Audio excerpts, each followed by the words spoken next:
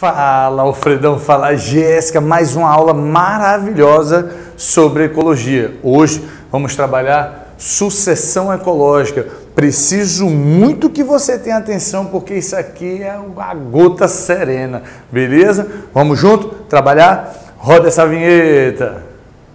É isso aí, galera. Vamos trabalhar hoje firme a sucessão ecológica. Primeiro, o que é uma sucessão? Ai, meu Deus, é um sucesso que está na. Não, Fala isso não. Sucessão são as mudanças. Sucessão presidencial, sucessão governamental. Não é assim? O sucessor vai mudando as mudanças que vão ocorrer. Nesse caso, a gente vai falar das mudanças que ocorrem no, ecologia, no ambiente, né? no ecologia, no ambiente. Então, é a sequência de eventos característico da ocupação. E aí o homem começou a observar que essas mudanças, elas podem obedecer um padrão.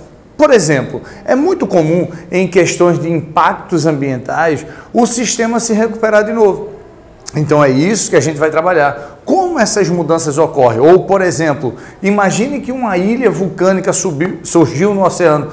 Como é que isso desenvolve para surgir a vida ou para o desenvolvimento da vida? É justamente o que a aula de hoje vai trabalhar, beleza? Então, a gente pode ter o que a gente chama de sucessão primária, sucessão secundária, e cada uma delas tem algumas características. Como assim, Bilbil? Quando a gente fala de uma sucessão primária, é quando um determinado ambiente está sendo ocupado pela primeira vez. Eu gosto muito desse exemplo da ilha vulcânica. Imagina, por exemplo, que uma ilha vulcânica blá, blá, blá, acabou de surgir. Tem alguém ali? Me fale, tem alguém ali? Ninguém. É um ambiente totalmente inóspito, novo, acabou de surgir. Beleza? O processo de colonização, o processo de desenvolvimento da vida ali é absurdamente mais lento. Tá entendendo a parada? Até chegar alguém lá para se arriscar e desenvolver, demora pra caramba. Tu tá entendendo a parada? Até porque quem é que vai para lá? Tu vai, tu vai. Tu vai chegar lá e não, o meu sonho é morar sozinho numa ilha deserta. Até pode ser o seu sonho, mas para manutenção da população e desenvolvimento da vida, não vai dar em nada. Tá entendendo a parada? Então, o processo de desenvolvimento até conquistar e chegar num ambiente complexo como a gente conhece, demora, beleza? Agora, se o ambiente já era ocupado, sofreu um impacto, uma catástrofe que seja, e ele se recupera, aí a gente tem uma sucessão secundária. A gente só fala de sucessão primária se for a primeira vez que aquele ambiente for ocupado. Qualquer outro ambiente que já era ocupado, sofreu um impacto, que se, ah, vamos supor, ah, o cara fez um desmatamento, né? E deixou lá. Desmatou e deixou. Vai ser recuperado o ambiente? Vai. Vai ser mais rápido do que a primária, mas não estou dizendo que vai ser assim, ah, desmatou, beleza, deixa lá que volta. Vai voltar? Vai, mas vai demorar. Deu para entender a parada? Tranquilo? Mas é mais rápido do que a primária. Por quê? Porque eu não começo do zero. Entende que aqui eu estou começando do zero? Não tem ninguém e eu vou ocupar. E é isso que a gente vai falar já já nessas etapas aqui. Agora, aqui não, eu já não começo mais do zero. Beleza? Então é um processo um pouco mais rápido. Outro, imagina, por exemplo, uma ilha que estava lá e veio um tsunami e lambeu muita coisa. destruiu? Destruiu. Morreram muitas vidas? Morreram. Seres vivos lá morreram. Mas acabou com tudo? Não. Se não acabou com tudo, quando recomeçar, recomeça do zero? Não. É isso que eu quero que você entenda. Bilbil, existe alguma exceção? Existe. O vulcão. A exceção é justamente a erupção vulcânica. Quando o vulcão está lá, o ambiente, o vulcão entrou em erupção, a lava veio. O que é que sobra depois do vulcão? Que a lava passa? Nada. Tu tá entendendo? Então, naquele local onde o vulcão passou, destruiu tudo. Vai ter que começar o quê? Tudo do zero de novo. Então, caso seja uma erupção vulcânica, atividade vulcânica ocorreu num ambiente que já era ocupado, como ele vai começar do zero de novo, e a gente vai entender o que é começar do zero, sucessão primária de novo. Beleza? Mas para a gente entender os processos de sucessão, é óbvio que eu tenho que entender o que é que vai atrair alguém para ir para um lugar, uma sonífera ilha deserta. O que é que vai, o que é que move alguém aí para um lugar desse? Pensa, por exemplo, no Brasil quando era colônia, né? Foi descoberto. O que é que moveu os portugueses de sair de lá da Europa e vir para cá? Primeira curiosidade, não é não? o interesse em alguma coisa que fosse valor. E a ousadia da galera lá nas caravelas, porque não sei se você conhece, mas a caravela é um bicho desse tamanho aqui, né? um bicho não, mas eu estou falando do barco. Um bicho pequenininho, um barco pequeno, cheio de gente ali dentro, louco dentro do oceano. Vamos embora. Para onde? Não sei, vai. Só vai, filho. Tu tá entendendo o cara tem que ser louco para vir? Beleza, acharam, voltaram e disseram: a gente achou a parada, quem vai? Tu ia concordar com isso? Será que ele achou mesmo? Cadê a foto? Traga a foto que eu vi para eu ver. Traga. Não, eu trouxe um pedaço de folha. E se não foi dali da esquina? E tu disse, tu tá entendendo que tinha que ser só louco para concordar com ele, para vir também? Menina, mesmo, eu nunca tinha pensado num negócio desse. Então, galera, embora que já tivesse um sistema complexo que seja, mas eu estou dizendo a ousadia de uma população que estava no local estável e veio. Quem foi que vieram? Quem foi, quem foi que vieram? Quem foi que veio primeiro? A família real já veio lá. Não, opa, foi você. Vamos. Já se mudaram para cá? Lógico que não. Quem foi que veio? Bandido, ladrão, que ninguém queria lá, pô. E nem os caras quer, quer ficar livre? Bora, vai para lá. Será que se explica um pouquinho não vamos entrar nesse assunto. Deu para entender? Então tem que ser ousado para vir. Tem que ter alguma coisa atrativa. O que foi atrativo? Pô, tu quer tua liberdade? Vai para lá. Aqui tu não fica, mas lá tu fica solto. O cara, eu vou. Para estar tá preso aqui é melhor estar tá lá. Deu para entender a parada? Tranquilo, tem que ter um atrativo. E é justamente isso que eu quero analisar com você esse processo. Existe o seguinte: analisando para o sistema vivo, o ambiente tem que trazer alguma coisa é, atrativa a primeira galera que chega, quando chega nessa ilha, vamos visualizar a ideia da ilha aí. Quando chega na ilha, a ilha não tem nada, meu amigo. Não tem Wi-Fi, não tem nada. Quem vai sobreviver ali? Só quem se adapta a essas condições totalmente inóspitas. Então a gente tem no início um ambiente nu, onde as condições são totalmente desfavoráveis. Mas a primeira galera que chega, chamada de comunidade pioneira ou ESESE, são quem? Líquens, bactérias, gramíneas, alguns insetos. É uma galera que tolera significativamente variações. O sol está lá, tchá, rasgando. Outra, de repente vem as ondas lá, blá, bate, blá, depois a temperatura cai, aumenta, falta água. Esses caras toleram essas variações. Então, essa comunidade Essés ou pioneira, elas estão desbravadoras. Mas à medida que o tempo vai passando, óbvio, isso não é assim, ah, no outro dia, não, alguns anos, alguns milhões de anos talvez, essas populações vão alterando as condições do ambiente, o ambiente que era mais rochoso devido ao intemperismo, a onda batendo lá, bem, o sol, tchá, ela esquenta, dilata, depois esfria, contrai, dilata, contrai, vai quebrando, blá, blá, blá, vai rolando aquilo ali, o solo que era rochoso começa a se tornar arenoso. Aí uma ave que passou assim, ó, fez o cocôzinho ali, tinha uma semente, caiu, pô, eita, desenvolve uma gramínea, o ambiente começa a ficar mais favorável para certos animais, insetozinhos e tal, vai chegando aqui. Entende que eles estão desenvolvendo, mas a primeira coisa que eu quero que você entenda é que tem que chegar algum produtor. Tem que chegar, tem que chegar produtor. Líquen é a associação entre alga e fungo. Opa, alga é produtor. Se eu pego uma gramínea dessa aqui, a gramínea é um produtor. Só que não tem quem coma. Então a atividade fotossintética aumenta demais, porque só tem produtor ali, basicamente. Esse produtor vai aumentando, aumentando, sua população crescendo, crescendo. E é justamente isso aqui, ó, a PPB. O que é a PPB? É a produtividade primária bruta. O que é a produtividade primária bruta? É tudo que o sistema consegue produzir. E quem produz são os produtores, e essa produção ocorre por meio da fotossíntese. Então essa galera está produzindo, produzindo, enriquecendo de matéria ali.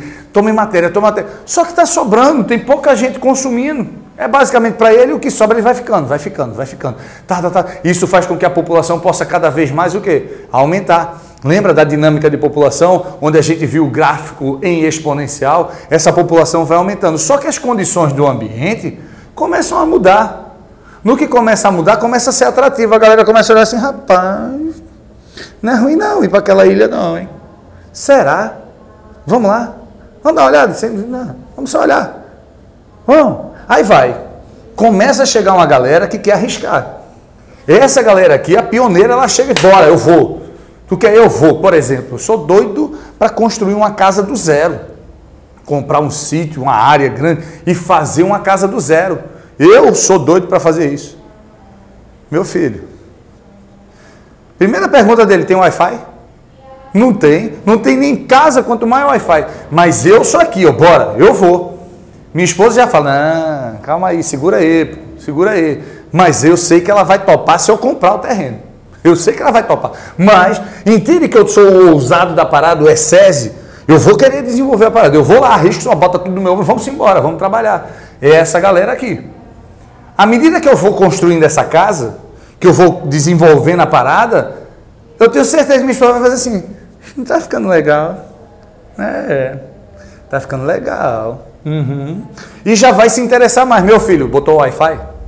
Tu tá entendendo a parada? Foi ou não? Então, essa comunidade agora serial, ela já é atrativa, porque tem alguma coisa que chama a atenção dela. A produtividade primária aumentou demais, a produtividade primária bruta aumentou demais, tem muito recurso, e se torna atrativo. E aí, o que é que acontece? Começa a chegar os consumidores. Quem chega?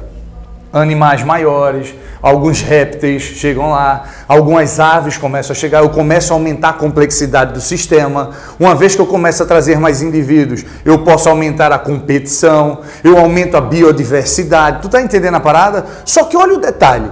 Tem uma galera que chega, olha e fala assim, pô, dá para mim não, vamos embora. Tem uma galera que chega e, pô, vamos arriscar. Aí começa, sofre pra caramba, caramba, meu Deus do céu, eu não aguento. Ah, morre e fica, e o outro faz, e sai, e chega outro. Entende que nessa fase aqui, é muito a instabilidade, é muito instável, a rotação de indivíduos aqui é muito grande. Porque tem gente que chega e fica, tem gente que chega vai embora, tem gente que chega, fica e morre. Entende que tem uma variabilidade muito grande aqui? Então, por isso que a gente diz que aqui tem uma alta biodiversidade. Cuidado com o seguinte: eu vou falar da comunidade clímax, que é quem representa a maior biodiversidade. Porque aqui é quem permanece, eu vou falar disso já já. Mas entende que se eu contar a galera que chegou, olhou e foi embora, chegou, ficou, morreu. Vai ter muito mais indivíduos que passaram por aqui? Entende essa ideia? Show! Mas isso é só uma análise que a gente está fazendo. À medida que isso aqui vai aumentando a complexidade, entende que o sistema vai se incorporando, eu vou desenvolvendo cada vez mais, eu vou enriquecendo mais esse ambiente, trazendo cada vez mais produtores que aumentam a fotossíntese e garantindo a sustentabilidade de quem? Do consumidor. Então entenda que quanto mais eu produzir, eu estou preparando o ambiente para um sistema cada vez mais complexo. Perfeito? Até que chega a comunidade clímax. É onde eu tenho lá a galera que de fato chegou para ficar e falou assim: cara, é aqui o meu lugar, daqui eu não saio, daqui ninguém me tira. Foi não? É quando a família real chega aqui. É quando a minha esposa chega e diz: é aqui que a gente vai ficar. E é quando meu filho diz: tem Wi-Fi? Aí eu digo: tem. Deu para entender a parada? Então, aqui eu vou ter o sistema mais complexo, a maior biodiversidade permanente, eu vou ter uma maior competição, uma maior quantidade de nichos ecológicos, consequentemente, maior sobreposição, maior competição entre eles. Então, chegam parasitas, predadores e assim vai. Eu aumento a complexidade do sistema, só que a minha PPB meio que estabiliza.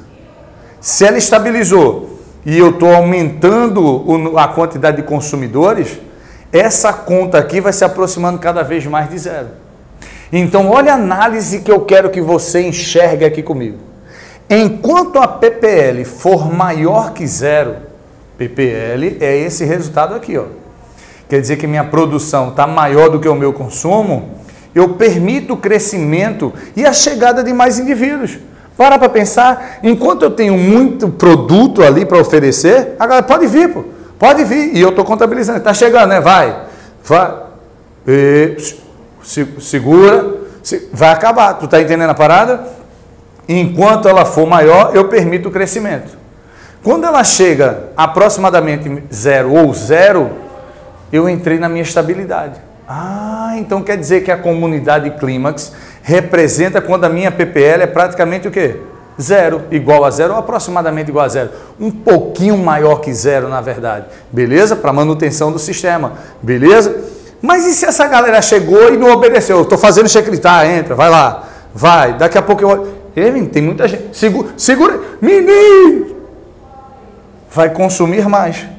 Se consome mais, Se eu tenho uma taxa de consumo maior, começa a faltar. Se falta, há um, um declínio, um desequilíbrio no ambiente. Bio, bio, como é que isso pode acontecer? Imagina que eu tenho uma comunidade clímax. Tá lá. Um exemplo. Chega um outro indivíduo, um predador de topo de cadeia, que não tem ninguém para acabar com ele. Ele come muitos indivíduos ali, aumenta a população, dá um desequilíbrio ali, pode comprometer a produção. Quer ver outro? O desmatamento. O desmatamento, eu estou tirando quem? O produtor, o cara que está produzindo o necessário para a manutenção do sistema. Se eu estou tirando ele, acabando com isso aqui, como é que a galera vai comer? Começa o quê? Morrer a galera, por falta de alimento. Deu para entender a parada? Tranquilo isso? Então, quando a gente fala de uma sucessão primária, eu conto essa historinha aqui, ó. Até aqui. Se eu chegar no clímax, o que quer dizer o clímax? É quando a minha população está estável e ela não sofre variações significativas. Lembra que eu falei que aqui sofre variações significativas? Lembra disso? Então aqui não sofre mais essa variação significativa. Beleza? Está muito estável ali. Agora, o que é que faz isso aqui variar? Ação antrópica, o homem desmatando queimadas, por exemplo, ou uma catástrofe. Imagina um tsunami, lambeu isso aqui. Nessas duas situações, quando há um impacto significativo aqui e isso gera uma consequência significativa na manutenção da, das espécies, aí eu vou recuperar esse ambiente ao longo do tempo. Sucessão secundária. Deu para entender a ideia? Então a sucessão secundária só ocorre quando uma comunidade clímax sofre um impacto. Bill Bill, e como é que a gente classifica essas populações? A gente classifica ela em dois tipos: população R e população K. Quem é a população R? São um conjunto de seres que toleram variações significativas do meio. Por exemplo, esses dois carinhas aqui, ó, eles toleram essas variações, beleza? Óbvio que esse aqui é muito mais resistente do que esse. Porque esse aqui tem uma exposição ao sol muito maior. Já esse cara tem um. Até tolera uma exposição ao sol, mas ele precisa de um ambiente mais úmido Deu para entender a parada? Mas ele ainda tolera aí algumas variações. Então, a, a população R são os seres capazes de tolerar variações significativas do meio. Já a população K é o quê?